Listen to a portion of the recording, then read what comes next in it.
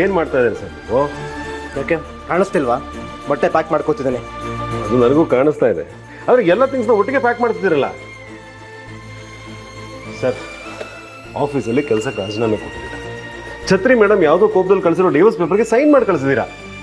ಈಗ ನೋಡಿದ್ರೆ ಥಿಂಗ್ಸ್ ಎಲ್ಲ ಪ್ಯಾಕ್ ಮಾಡ್ತಿದ್ದೀರಾ? ನಿಮ್ಮ ಮನಸ್ಸಲ್ಲಿ ಏನು ನಡೀತದೆ? ಹೇಳಿ ಸರ್. ಇನ್ಮೇಲಿಂದ ನಾನು ನಿಮ್ಮಲ್ಲಿ ಇರೋಕ್ಕಾಗಲ್ಲ ನಂದು. ಯಾಕೆ ಸರ್? ಇಷ್ಟು ದಿವಸ ಇವತ್ತಲ್ಲ ನಾಳೆ ನಾನು ಅಜ್ಜಿ ಜೊತೆ ಕಾಂಪ್ರಮೈಸ್ ಆಗ್ತೀನಿ. ನಾನು ಮತ್ತೆ ಮನೆಗೆ ವಾಪಸ್ ಹೋಗ್ತೀನಿ ಅನ್ನೋ ಹೋಪ್ಸ್ ಇತ್ತು. ಅದಕ್ಕೆ ಸ್ವಲ್ಪ ದಿನದ ಮಟ್ಟಿಗೆ ನಿಮ್ಮಲ್ಲಿ ಇದ್ದೋಗೋಣ ಅಂದ್ಕೊಂಡಿದ್ದೆ. ಆದರೆ ಇವತ್ತು ನನ್ನ ಜಾನಗೆ ನಾನು ಬೇಡವಾಗ್ಬಿಟ್ಟಿದ್ದೀನಿ ನಂದು. ನಾನು ಜಾನಗೆ ನಾನು ಬೇಡವಾಗ್ಬಿಟ್ಟಿದ್ದೀನಿ ಅಂದಮೇಲೆ ಇನ್ನು ಅಜ್ಜಿ ಜೊತೆ ಕಾಂಪ್ರಮೈಸ್ ಆಗೋ ಆಸೆನೇ ಹೊರಟೋಯ್ತು ನನಗೆ. ಸರ್ ನೀವೆಲ್ಲೂ ಹೋಗ್ಕೂಡ್ದು. ನಿಮ್ಮ ಹಾಗೂ ಜಾನವಿ ಮೇಡಮ್ ಸಂಬಂಧ ಸರಿ ಹೋಗೋರಿಗೂ ನೀವು ಇಲ್ಲೇ ಇರಬೇಕು ಪ್ಲೀಸ್ ಅದೆಲ್ಲ ಬರೀ ಕನ್ಸಿನ ಮಾತು ಅಷ್ಟೇ ನಂದು. ಸರ್ ಪ್ಲೀಸ್ ನಾನು ಹೊರಡಕ್ಕೆ ಬಿಡು ನಂದು. ನಾನು ಇನ್ನೂ ಇಲ್ಲೇ ಇದ್ದೀನಿ ಅಂತ ನಿಮ್ಮ ಪ್ರೊಪ್ರೇಟರ್ ಮೇಡಮ್ಗೆ ಏನಾದರೂ ಗೊತ್ತಾದರೆ ನಿನ್ನ ಮೇಲೆ ಕೋಪ ಮಾಡ್ಕೋಬೋದು ನನ್ನ ಈ ನಡವಳಿಕೆ ಹಿಂದೆ ನಿನ್ನ ಇರಬಹುದು ಅಂತ ನಿನ್ನ ಮೇಲೆ ಅನುಮಾನ ಪಡ್ಬೋದು. ಆಮೇಲೆ ನೀನನ್ನು ಕೆಲಸದಿಂದ ತೆಗಿಬೋದು ಪರವಾಗಿಲ್ವಾ?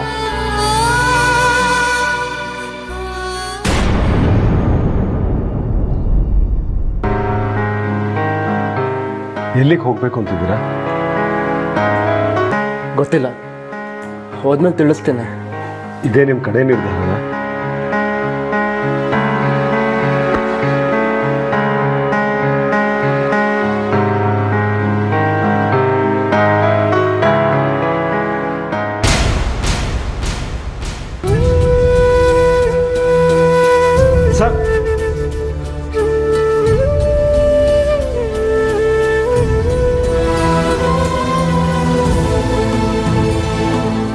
ಅಜ್ಜಿ ಅತ್ತೆ ಎಲ್ಲರೂ ಇಲ್ಲೇ ಇದ್ದೀರಾ?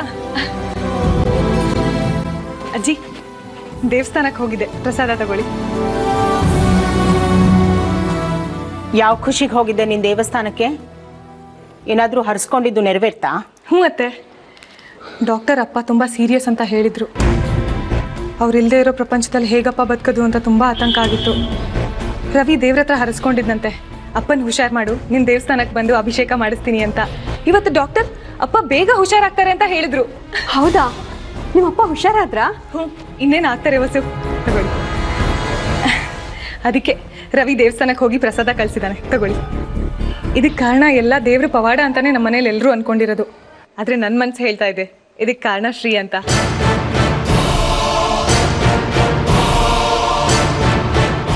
ಶ್ರೀ ಹೇಳಿದ್ದ ನನ್ನ ಹತ್ರ ಅಪ್ಪನ ಹತ್ರ ಮಾತಾಡ್ದೆ, ಇನ್ ಮುಂದೆ ಎಲ್ಲ ಸರಿ ಹೋಗುತ್ತೆ ಅಂತ.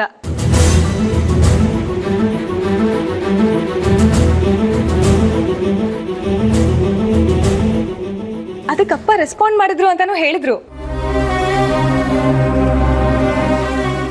ನಾನೇ ನಂಬಲಿಲ್ಲ. ಇವತ್ತು ಡಾಕ್ಟ್ರು ಅಪ್ಪ ಹುಷಾರಾಗ್ತಾರೆ ಅಂತ ಹೇಳಿದ್ರು. ಅವಾಗ್ಲೇ ನನಗೆ ಶ್ರೀ ಮಾತ್ ಮೇಲೆ ನಂಬಿಕೆ ಬಂದಿದ್ದು. ಶ್ರೀ ಮಾತ್ಗಳಿಂದಾನೆ ಅಪ್ಪ ಹುಷಾರಾಗ್ತಿರೋದು. ನಮ್ಮ ಶ್ರೀನೇ ಹಾಗೆ. ಯಾವಾಗಲೂ ಇನ್ನೊಬ್ಬರು ಸುಖ ಸಂತೋಷಕ್ಕೋಸ್ಕರನೇ ಬದುಕ್ತಾನೆ. ಅಲ್ವಾ ಅತ್ತೆ? ಅದಕ್ಕೆ ನಾನು ಶ್ರೀಗೆ ಫೋನ್ ಮಾಡಿ ಸಾರಿ ಹೇಳ್ತೀನಿ. ಹಳೆದಿನೆಲ್ಲ ಮರ್ತ್ ಬಿಡೋಣ ಅಂತ ಹೇಳ್ತೀನಿ. ಅದನ್ನು ಹೇಳೋ ರೀತಿಯಲ್ಲಿ ಹೇಳಿ ಆಗೋಯ್ತಲ್ಲ. ನೀನು ಕೊಟ್ಟಿರೋ ಶಾಕ್ನಿಂದ ಇನ್ನೂ ನನ್ನ ಮೊಮ್ಮಗ ಸುಧಾರಿಸ್ಕೊಂಡಿರಲ್ಲ. ಶಾಕ? ನಮ್ಮ ಅಪ್ಪನ ಎದೆ ನೋವು ಬಂದು ಆಸ್ಪತ್ರೆ ಸೇರಕ್ಕೆ ಶ್ರೀ ಕಾರಣ ಅಂತ ಬೊಬ್ಬೆ ಹೊಡ್ಕೊತಾ ಇದ್ದೆ. ಇಷ್ಟು ಚಿಕ್ಕ ಕಾರಣ ಇಟ್ಕೊಂಡು ಎಷ್ಟು ಚುಚ್ಚು ಮಾತಾಡಿಲ್ಲ ನೀವು ಶ್ರೀಗೆ?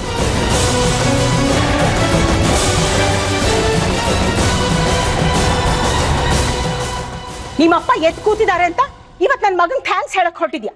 ಬೇಕಾದ ಥ್ಯಾಂಕ್ಸ್ ಹೇಳೋದು ಬೇಡದಿರಕ್ಕೆ ದೂರ ತಳ್ಳೋದು. ಏನ್ ಅನ್ಕೊಂಡಿದ್ಯಾ ನನ್ನ ಮಗನ್ನ ನೀನಿಷ್ಟು ಮುಂದುವರಿತೀಯ ಅಂತ ನಾನು ಅನ್ಕೊಂಡಿರ್ಲಿಲ್ಲ, ಜಾಹ್ನವಿ. ನೀನು ಈ ಮನೇನ ನಮ್ಮ ಶ್ರೀ ಜೀವನನ ಬೆಳಗಕ್ಕೆ ಬಂದಿರೋ ದೀಪ ಅನ್ಕೊಂಡಿದ್ವಿ ನಾವೆಲ್ಲ ಆದರೆ ನಮ್ಮೆಲ್ಲರೂ ನಂಬಿಕೆಗೂ ಬರೆ ಎಳ್ದ್ಬಿಟ್ಟಿಯಲ್ಲ ಜಾಹ್ನವಿ ನೀವು ಏನ್ ಹೇಳ್ತಿದ್ದೀರಾ ನಂಗೆ ಒಂದು ಅರ್ಥ ಆಗ್ತಿಲ್ಲ ಸುಳ್ಳಲ್ಲ ಅವ್ರು ಕಂಡ್ರೆ ನನ್ಗೆ ಆಗಲ್ಲ ಅದು ಗೊತ್ತಿದ್ದು ಸತ್ಯನ ಮುಚ್ಚಿರ್ತಿದೆಯಲ್ಲ ಎಷ್ಟು ಧೈರ್ಯ ನಿನ್ಗೆ ನಾನು ಯಾವ ಸತ್ಯ ಮುಚ್ಚಿಡ್ತಿದ್ದೀನಿ ನಾಟಕ ಸಾಕು ನಿನ್ ಬಣ್ಣ ಎಲ್ಲ ಬಯಲಾಗಿದೆ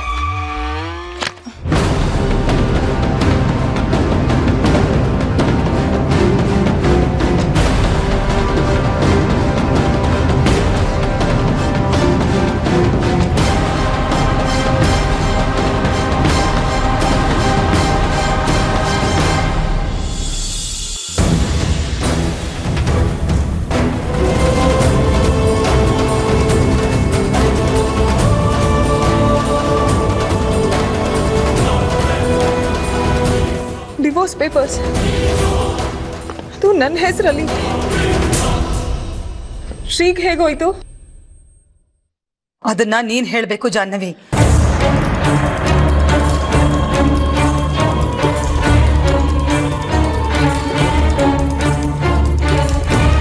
ನೀನ್ ನೋಟಿಸ್ ಕಳ್ಸಿದಿಕ್ ತಾನೆ. ಶ್ರೀನು ಸೈನ್ ಮಾಡಿ ವಾಪಸ್ ಕಳ್ಸಿರೋದು.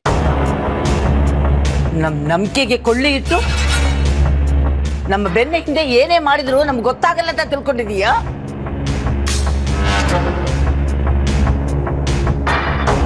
ನಿನ್ನ ನಮ್ಮ ಮನೆ ಕರ್ಕೊಂಡ್ ಬರಕ್ಕೆ, ನಮ್ಗಳ ಮನಸ್ಸಲ್ಲಿ ನಿನಗೊಂದು ಸ್ಥಾನ ಕೊಡ್ಸಕ್ಕೆ ನಮ್ಮ ಮೊಮ್ಮಗ ಎಷ್ಟು ಕಷ್ಟಪಟ್ಟಿದ್ದಾನೆ ಅಂತ ನಿನಗೆ ಚೆನ್ನಾಗಿ ಗೊತ್ತು. ನೀನದನ್ನ ನೆನಪಿಟ್ಕೋಬೇಕಿತ್ತು.